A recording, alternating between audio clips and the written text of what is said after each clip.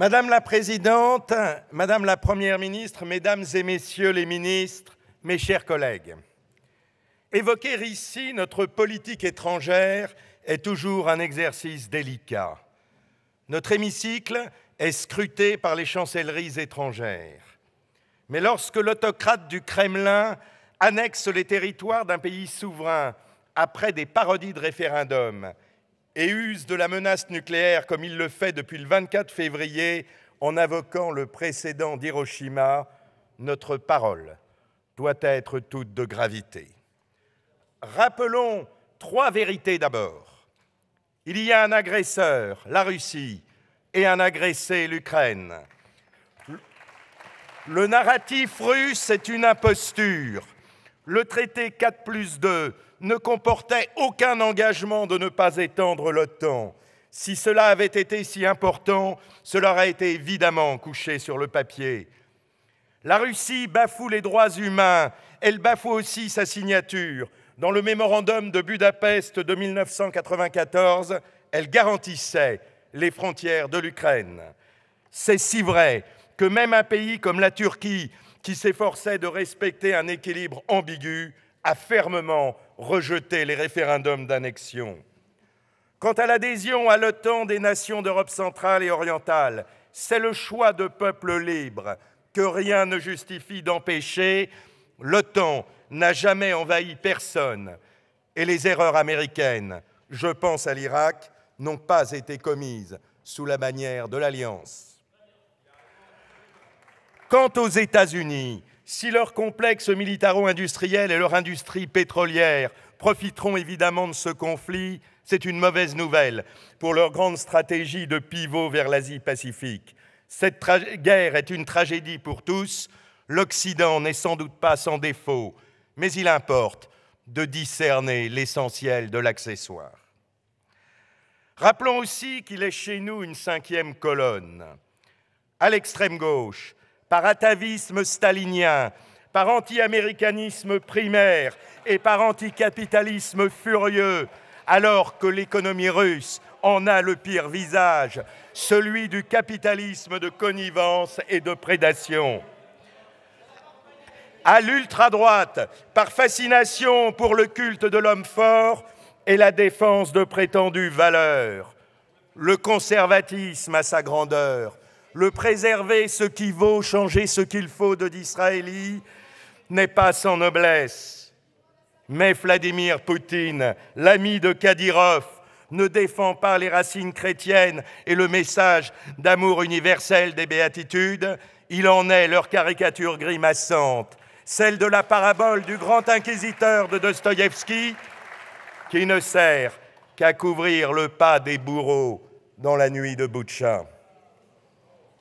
Enfin, ne nous y trompons pas, la guerre déclarée à l'Occident comme un tout est une guerre contre l'homme occidental, l'homme du libre arbitre et de la délibération démocratique, qui refuse les assignations à résidence, même s'il n'oublie ni les limites de la condition humaine, ni son appartenance à un tout organique qui s'appelle la communauté nationale.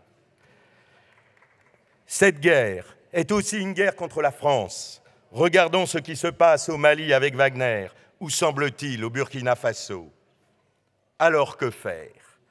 Continuer avec sang-froid, ne pas céder au bluff, béaba de la grammaire stratégique de la dissuasion, maintenir et renforcer les sanctions, d'autant que les difficultés énergétiques qui s'annoncent sont au moins autant les conséquences de la crise en Ukraine que des erreurs de politique énergétique commises depuis 2012 refuser la facilité de l'égoïsme et du pacifisme bélant, avoir en tête les mots de Churchill, vous aviez le choix entre la guerre et la honte, vous avez choisi la honte et vous aurez la guerre.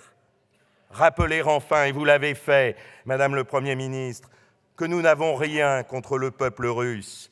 Il a toujours balancé entre le courant occidentaliste et le courant slavophile. Nous sommes, hélas, dans un moment Ivan le Terrible, pas dans un moment Pierre le Grand.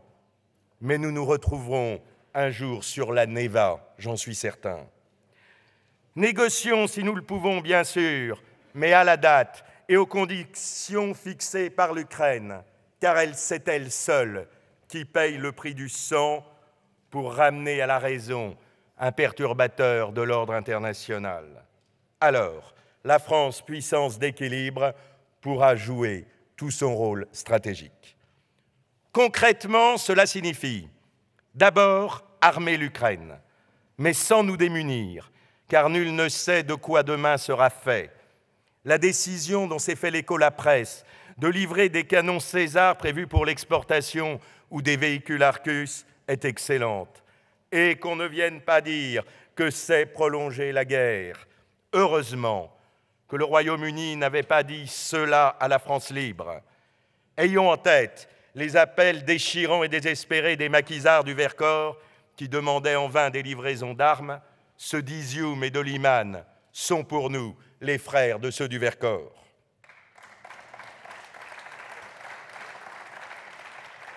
Ensuite, donner des signes de notre résolution.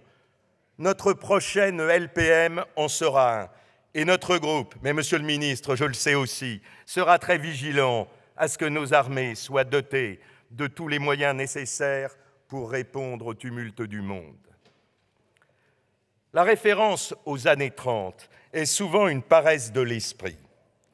Mais qui songe à la rhétorique du diktat occidental, au coup de bluff réussi de Géorgie ou de Crimée, à l'obsédante question des minorités et du redécoupage des frontières, celui-là ne peut échapper au parallèle vertigineux de la remilitarisation de la Rhénanie, de l'Anschluss et de Munich.